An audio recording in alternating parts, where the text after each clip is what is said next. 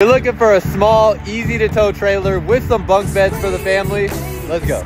This is a 2022 Keystone Passport 221BH. It is a small dual axle, easy to tow travel trailer. It has metal slam latch doors on the outside and it's going to have an enclosed water compartment. You have an outdoor kitchen with a two burner stove and a refrigerator and this huge storage space that could fit a kayak back here with how the bunk flips up. Comes standard with solar to keep your batteries charged and then when you come inside you'll have all this storage right away for quick access to things from outside, a privacy curtain to where the bed sits and that is a Murphy bed which we'll see how that works in just a second.